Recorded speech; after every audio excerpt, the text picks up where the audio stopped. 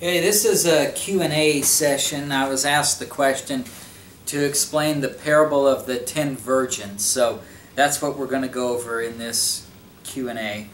Um, go over to Matthew 13 to start because I want you to see since it is a parable, most all of Christianity will tell you that a parable is a story that Jesus told to make some deep spiritual truth easier to understand.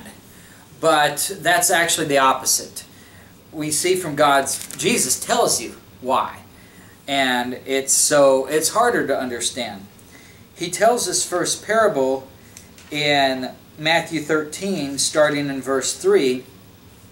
And then when he's done, look in verse 9.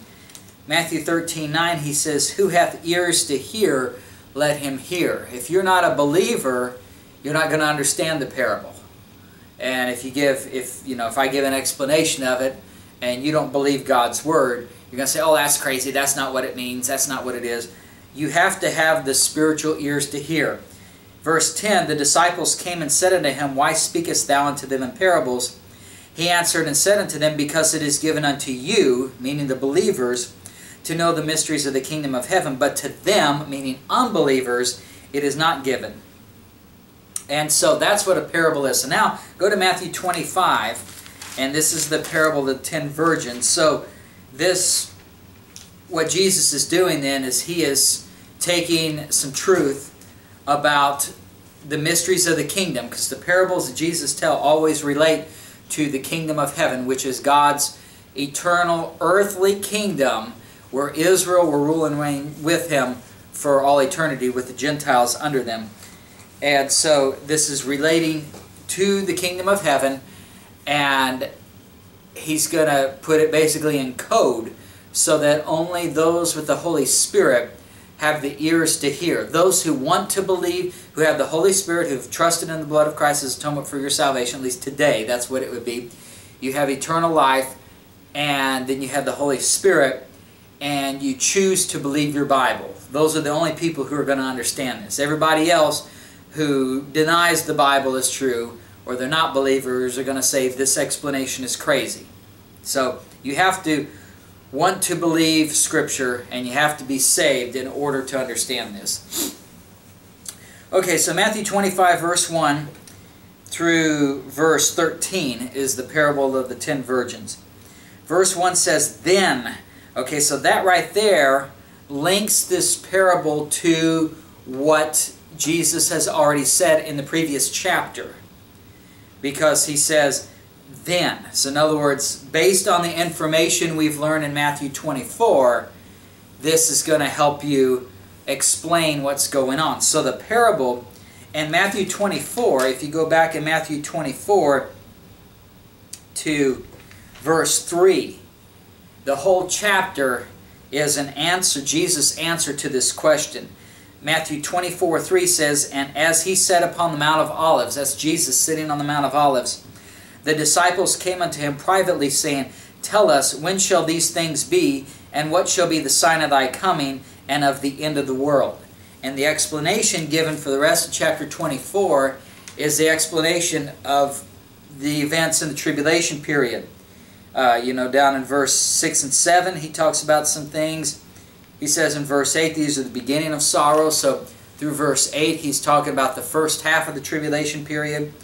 Then verse 9 and following, he's talking about the last half of the tribulation period. Then you get down to verse 29. It says, immediately after the tribulation of those days shall the sun be darkened. So he goes through the entire tribulation period. And then he talks about immediately after and then he says, after tribulation period, verse 30, he says, And then shall appear the sign of the Son of Man in heaven. So then he's coming there, verse 31, He shall send His angels with a great sound of a trumpet. They gather the elect. And now he's starting to explain, um, he uses some, he has a parable of the fig tree there.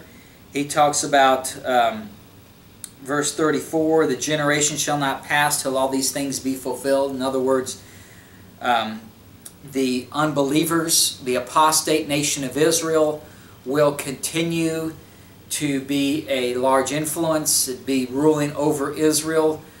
The believers will continue to be a little flock all the way through the end of the tribulation period until Jesus' second coming. Verse 38, he says, But of that day and hour knoweth no man, no, not the angels of heaven, but my Father only. So there he's mentioning that you've got some events to look for in Matthew 24 about the tribulation period, but specifically when, so you can get an idea of when Jesus is coming, but specifically when the day and the hour no man knows. And so the and so then the conclusion, verse 42, Matthew 24, 42, Watch therefore, for ye know not what hour your Lord doth come. And so they are to watch for the signs. Now go down to chapter 25, verse 13. This is the conclusion of the parable of the ten virgins. Watch therefore, for ye know neither the day nor the hour wherein the Son of Man cometh. So he's talked about the tribulation period in chapter 24. Then in chapter 25, he says, Then shall the kingdom of heaven be likened unto ten virgins. And so what he's doing here is he's given them signs in Matthew 24. And in verse 42, he tells them to watch for the Son of Man's coming. Based on the signs that they see, based on what Jesus has said in Matthew 24. And now the parable of the ten virgins, the conclusion is the same. Watch therefore, for you know neither the day nor the hour wherein the Son of Man cometh.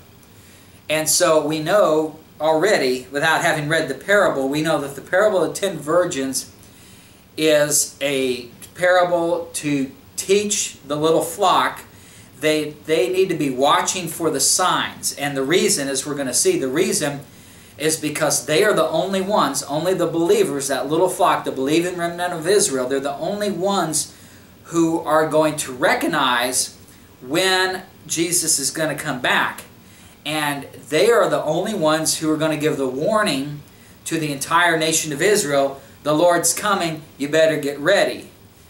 And so if it wasn't for the little flock, the, the many or most of the people who uh, in Israel, most of the people who are saved in Israel at Jesus' second coming, if it wasn't for the little flock watching, they would not be saved. They would not be ready.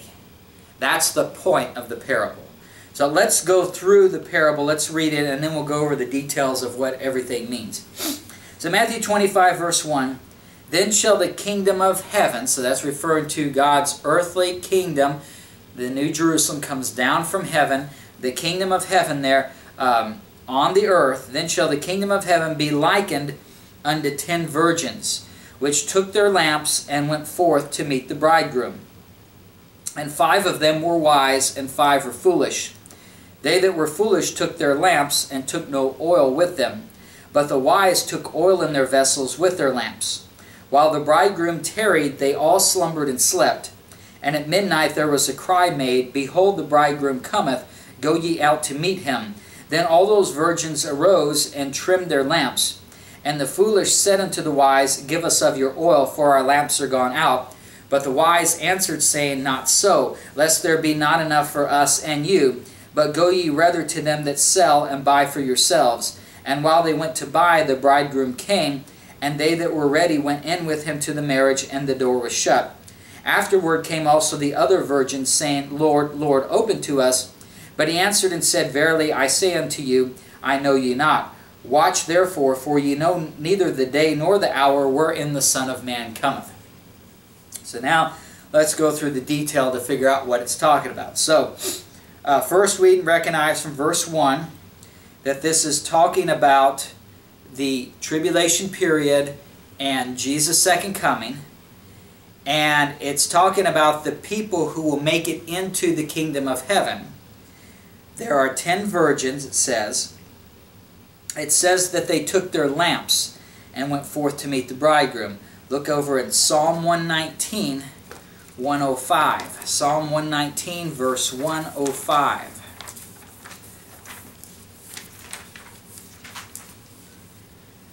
Psalm 119, verse 105 says, Thy word is a lamp unto my feet and a light unto my path. So when we're told that the ten virgins took their lamps, What it means is they took the Word of God because thy word is a lamp unto my feet. So the lamp there would be the Word of God.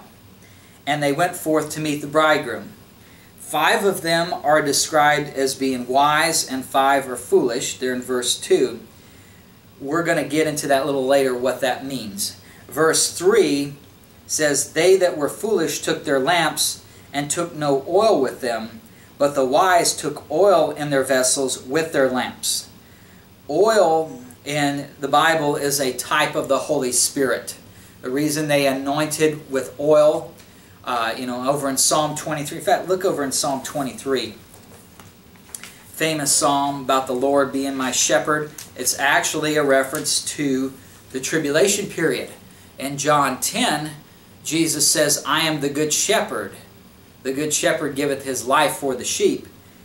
Psalm 23, 1 says, The Lord is my shepherd, I shall not want. So if he's the shepherd, the good shepherd, the way he's the good shepherd is he dies on the cross for their sins and as a result, then he leads them into the kingdom. And that's what verse 2 He maketh me to lie down in green pastures, He leadeth me beside the still waters, He restoreth my soul, He leadeth me in the paths of righteousness for His name's sake. Verse 4 talks about the tribulation period. Yea, though I walk through the valley of the shadow of death, I will fear no evil, for thou art with me. He's with them through His word. Thy rod and thy staff, they comfort me. They're corrected by the rod and the staff as the trials of the tribulation period. Thou preparest a table before me in the presence of my enemies. He's preparing the marriage supper of the Lamb for them. But yet apostate Israel is still around in the tribulation period. Now notice what it says. It says, Thou anointest my head with oil.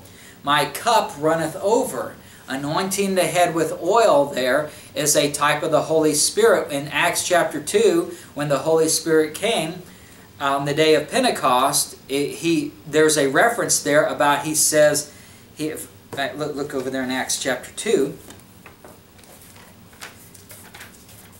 Look specifically at what it says. People really don't think about this, but in Acts chapter 2, let's uh, look in uh, verse 17. It says, And it shall come to pass in the last days, saith God, I will pour out of my Spirit upon all flesh. When the Holy Ghost was promised, the, prophet, the prophecy in the book of Joel said that I will pour out of my Spirit upon all flesh. Well, if you anoint your head with oil, the way you do it is you pour the oil on the head.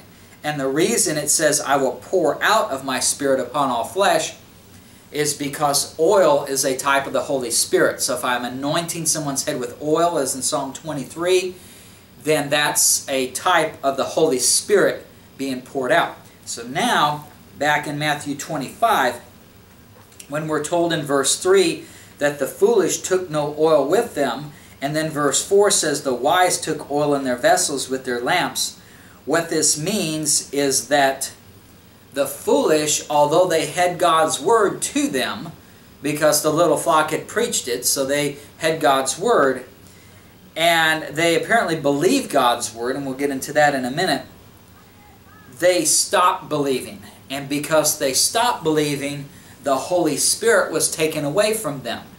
So they may have God's word, they initially believed the gospel, but then they did some, they fell away is going to be determined. We'll look at that next. And so when it was time to meet the bridegroom at Jesus' second coming, they were no longer believers because they don't have oil with them. They don't have the Holy Spirit. Whereas the wise took oil in their vessels with their lamps. So they still have the Holy Spirit, which means they believe the gospel of the kingdom. Look over in Luke chapter 8. We're going to look in Luke 8, and then we're going to look in Hebrews 6. In Luke 8, there is another parable. This is actually the parable that Jesus gives in Matthew 13. Um, and he's explaining the parable, the parable of the sower. And he explains it here, starting in verse 11. he says in verse 11, Now the parable is this, the seed is the word of God. Now remember, we had the word of God in Matthew 25. All ten virgins took lamps with them, so they all had the word of God. In this parable, the seed is the word of God. In the parable, which is given in verses, uh, let's see, 5, Luke 8, 5, down to verse 8, there's the seed that goes onto different types of ground. And look in verse 13 now. There is some seed that falls upon a rock. And now Jesus explains what that means. He says in Luke 8:13 that they on the rock are they which when they hear receive the word with joy. So they hear the word of God. The seed comes upon them which is the word of God. They hear the word of God that would be, in this case, the gospel of the kingdom. They receive it with joy. Then it says, And these have no root, which for a while believe.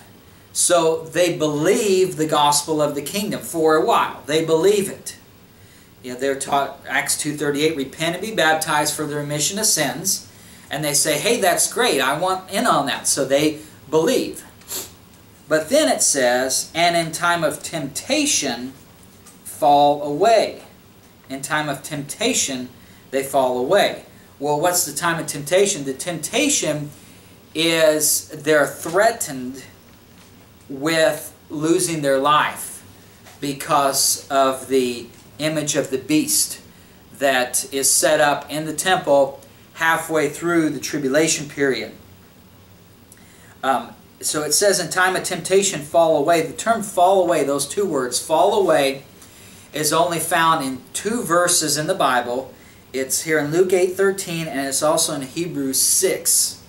So let's look in Hebrews 6 and it's going to tell you about the falling away and it's going to link it to the Holy Spirit as well. So keep in mind that those who are on the rock or the stony believers are those who they actually believe at first because it says for a while they believe. So they get the Word of God, they have the lamp, they believe it, but when temptation comes, they fall away. Now, Hebrews 6, verse 4, talks about what happens to these people.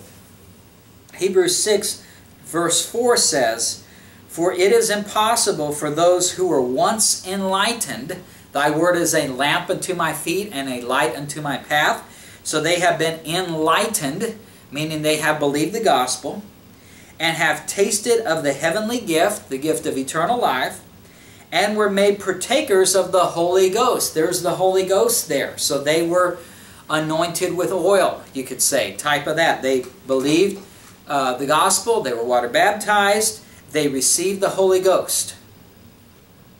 And then verse 5, and have tasted the good word of God and the powers of the world to come. So they believed the gospel, they've seen healing of the sick, raising the dead, casting out devils. So that's those powers of the world to come. Verse 4 said, It is impossible for those. Verse 6 says, If they shall fall away. There's your term fall away, found in Luke 8.13.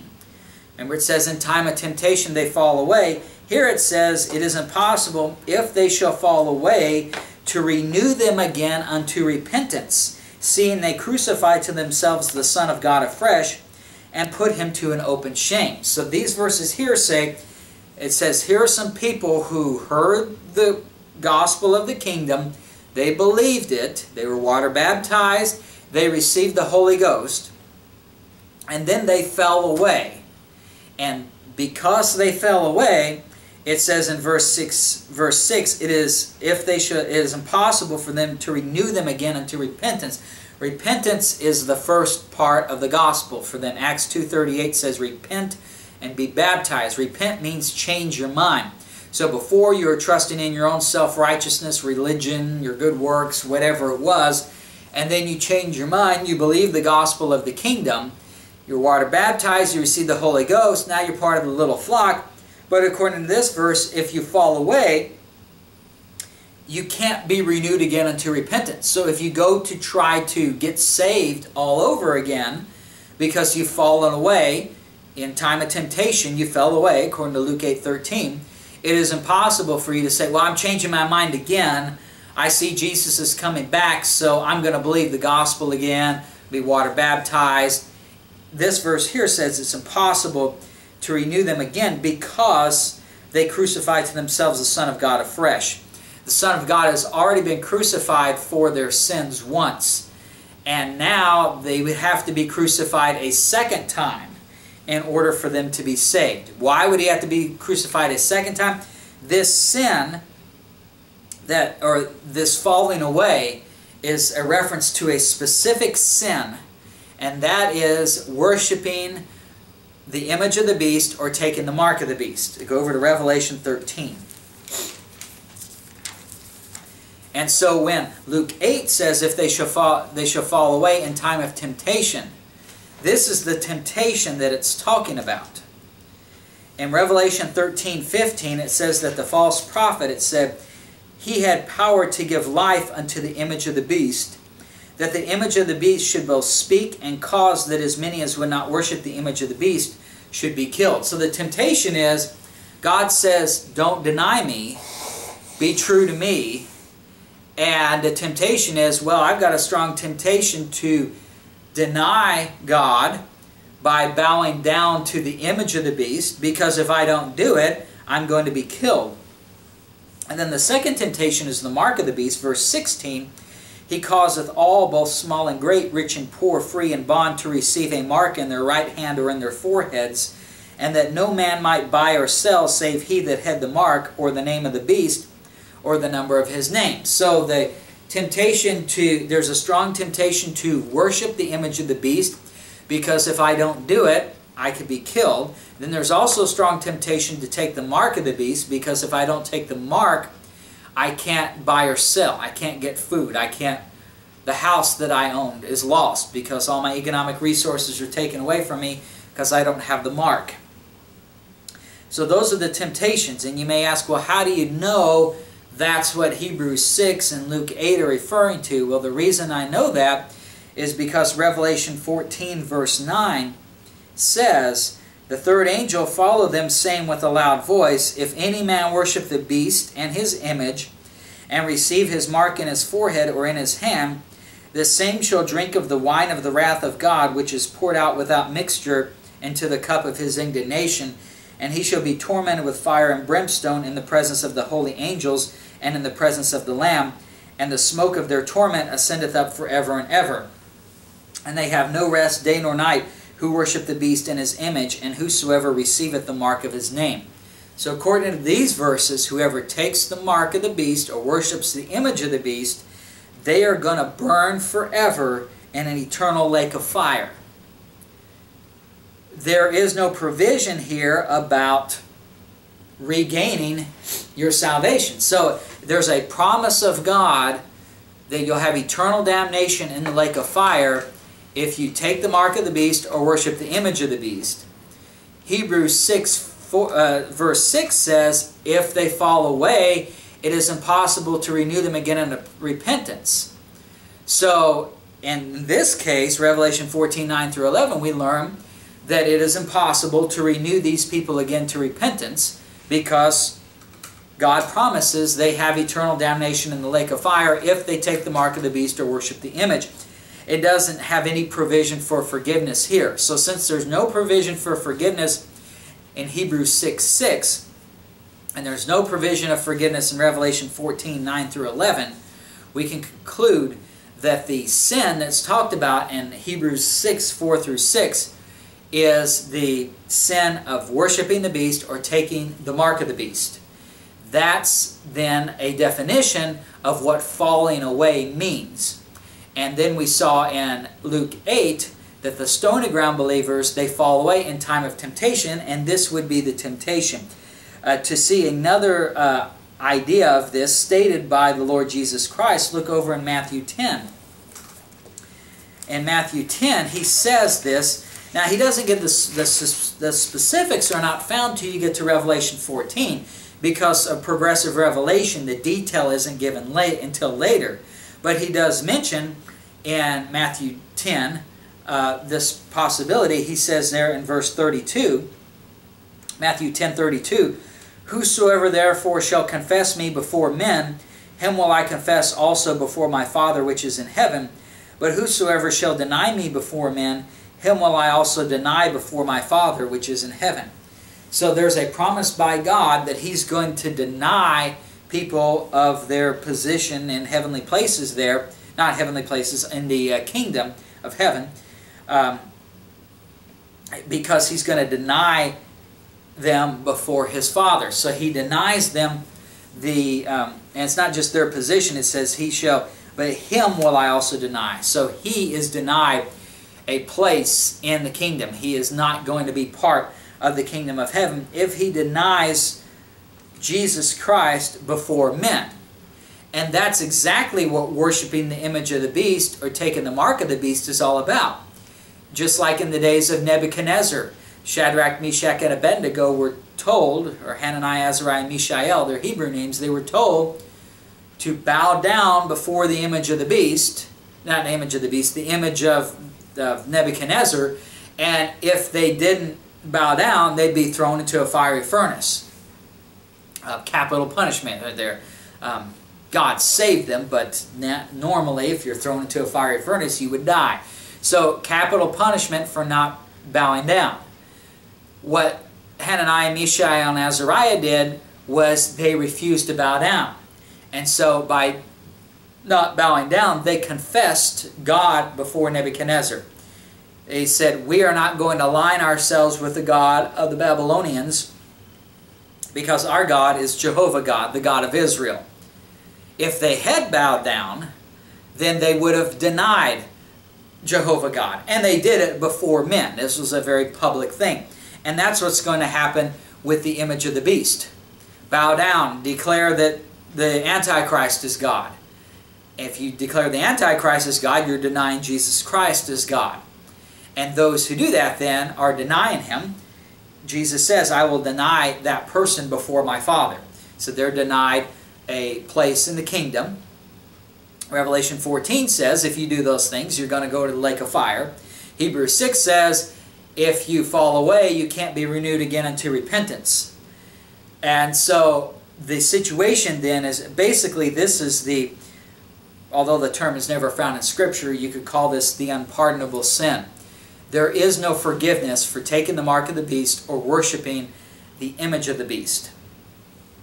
And that's what these foolish people have done. And the reason they do that, look in Psalm 14, because Psalm 14 is going to give you a definition. Remember, the ten virgins, five are wise, five are foolish. The foolish ones have no oil. And Psalm 14 gives you a definition of what a fool is. Psalm 14, 1. Psalm 14, verse 1. The fool has said in his heart, There is no God.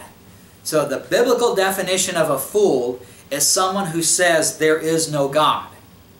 And God says in His Word in Revelation 14, if you take the mark or worship the image of the beast, you have your place in the lake of fire, eternal damnation in the lake of fire.